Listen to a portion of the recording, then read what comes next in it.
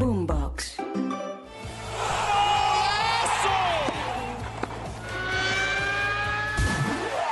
Esto es Titulares Deportivos. Bienvenidos.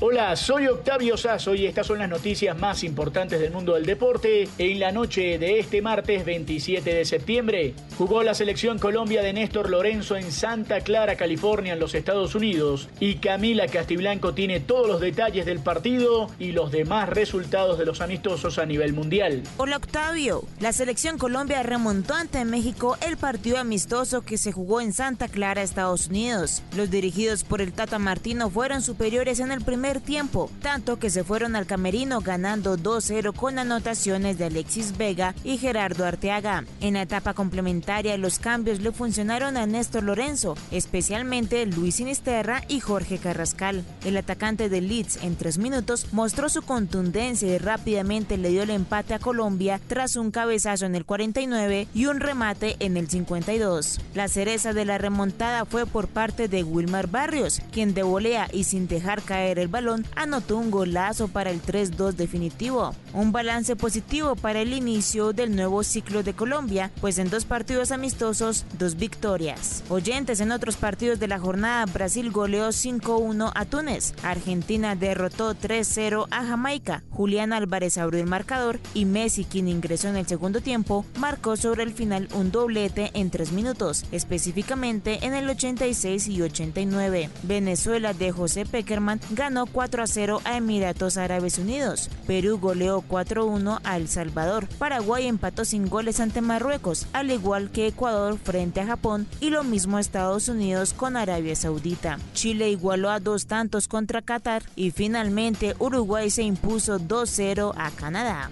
Y también hubo acción en la Liga de Naciones de Europa. Sergio Bahamón nos cuenta los resultados de los duelos más importantes. Mi estimado Octavio, este martes se definió el último clasificado al Final Four de la UEFA Nations League. Se trata de España, seleccionado que derrotó 1 a 0 a Portugal en los últimos minutos gracias a un gol de Álvaro Morata. Recordemos que a Portugal le bastaba con el empate para clasificarse. Dicho esto, el Final Four que se jugará en junio del próximo año tendrá a Países Bajos, Italia, Croacia y España. En otros resultados del día, Suiza le ganó 2 a 1 a República Checa. Los checos jugarán en la Liga B tras esta derrota. Por otro lado, Ucrania y Escocia empataron 0 a 0, resultado que le permitirá jugar al equipo escocés en la Liga A en la próxima temporada. Y en otros juegos, Suecia y Eslovenia empataron 1 a 1, Irlanda le ganó a Armenia 3 a 1, Serbia derrotó como visitante a Noruega por 2 a 0, Kosovo goleó a Chipre por 5 a 1, Grecia le ganó 3 a 1 a Irlanda del Norte y Albania empató 1 a 1 con Islandia.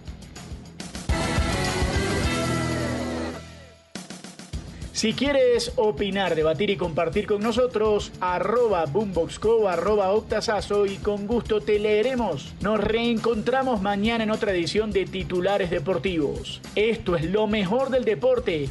Sigan conectados con Boombox.